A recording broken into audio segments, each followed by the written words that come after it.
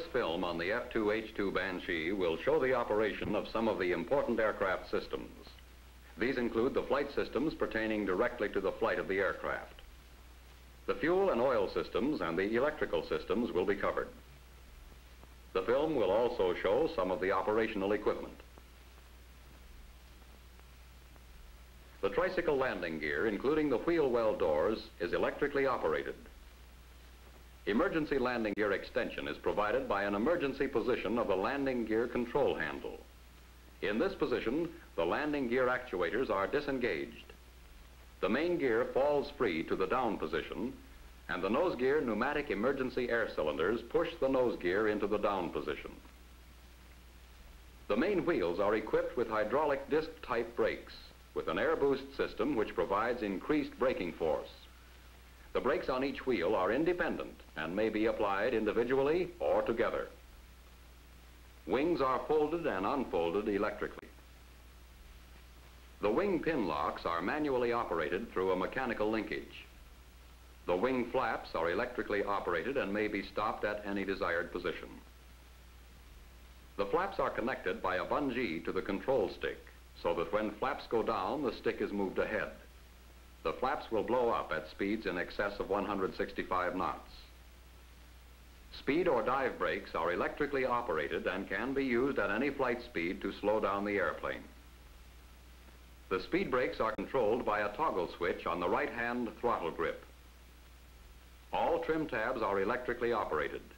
A combination trim and anti-balance tab is installed on the rudder and is controlled by a nose left, nose right toggle on the left console aft of the throttle quadrant. Aileron and elevator trim tabs are controlled by a four-way switch on the control stick hand grip. Aileron control is assisted by a hydraulic boost system with a separate pump and motor for each aileron. The switch on the left console controls both aileron boost systems. Forward on the right console, you will find the yaw stabilizer switch, which automatically corrects for directional instability of the airplane. A limit switch at the main landing gear scissors automatically disconnects the system on the ground. The test position bypasses the landing gear disconnect so that the system can be checked while taxiing. The fuel system for this aircraft operates by pressure feed to the engines. The center fuselage tank feeds directly to the fuel system manifold. The forward and aft fuselage tanks transfer to the center tank through gravity feed lines with submerged fuel pumps to transfer the last 900 pounds. The two stub wing tanks transfer through a submerged pump to the center tank. Tip tank fuel is transferred to the center tank by air pressure supplied by the engine compressors. The total fuel in overload fighter condition is 1,277 gallons, or 7,662 pounds of aviation gasoline, or approximately 8,200 pounds of JP3. Indicators on the pilot's forward sub panel show when fuel is being transferred from the stub and tip tanks. The transfer switches are located on the left console aft of the throttles, and the fuel quantity, fuel flow, and fuel totalizer indicators are forward of the throttles. The oil system provides lubrication to the accessory gearbox and main bearings regardless of the attitude of the airplane. To do this, the oil reservoirs located in the wing operate under 4 pounds per square inch pressure at the tank, while high pressure oil lines operate under pressures ranging from 5 to 90 pounds per square inch depending on engine speeds. The airplane is equipped with a 24-volt DC single-wire electrical system powered by one 24-volt 34-ampere-hour battery and two 28-volt 300-ampere engine-driven generators. Direct current power distribution is divided on three buses. The primary bus supplies DC power for equipment essential to safe flight and operates the inverter to power the AC flight instruments. With battery generator switch in battery generator position and both generators inoperative, the primary bus only is energized. With both generators out, placing the electric power switch in battery-only position will for a short time energize the secondary bus to power other equipment. A third bus, the monitor bus, powers the pilot suit heater and gun camera heater. In addition, the IFF destructor and canopy control circuits are energized when the battery is installed regardless of the position of the battery generator switch. The AC power system consists of a main inverter and a standby or alternate inverter which supplies three-phase AC when DC current is available. The airplane is equipped with an automatic cabin pressurization and temperature control system which uses compressed air from the engine compressor sections.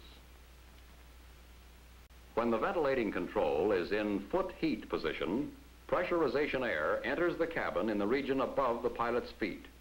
When the control is in defrost position, all the incoming air is directed to the windshield and canopy. Cabin pressure control is automatically controlled within two ranges selected by the toggle switch on the pressurization control panel.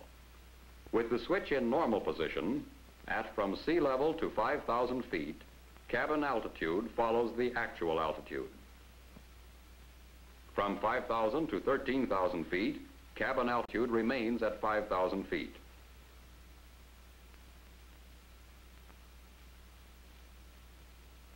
Above 13,000 feet, the cabin pressure is held at 3.3 pounds above the outside pressure.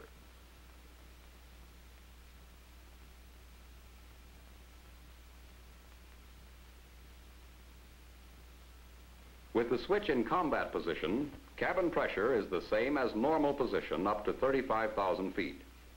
From 35,000 to 50,000 feet, the regulator adjusts to a combat ratio of 2.3 psi pressure differential. Above 50,000 feet, a differential pressure of 1.3 psi is maintained.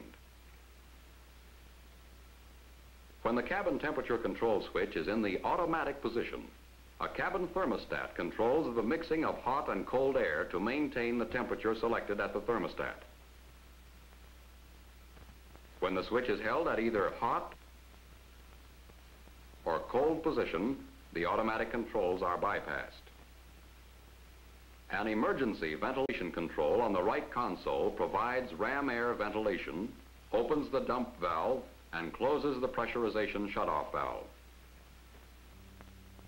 The oxygen equipment in the airplane is the automatic positive pressure diluter demand regulator type. The system operates on a full charge of approximately 1850 psi to supply positive pressures of oxygen for operational flights up to equivalent cabin altitudes of 43,000 feet. There is provision for emergency descent from 50,000 feet in case of loss of cabin pressurization. Additional pressure and flow indicators are mounted forward on the left console where they can be more easily read by the pilot. The anti-blackout system, or G-suit, draws compressed air from the compressor section of each engine. The valve opens at 1.75 G. When the control is set in the low position, one pound per square inch of air is provided for every one G increase thereafter. When the control is in the high position, the unit provides one and one half pounds per square inch per G of acceleration. Pressing down on the top of the valve manually inflates the suit.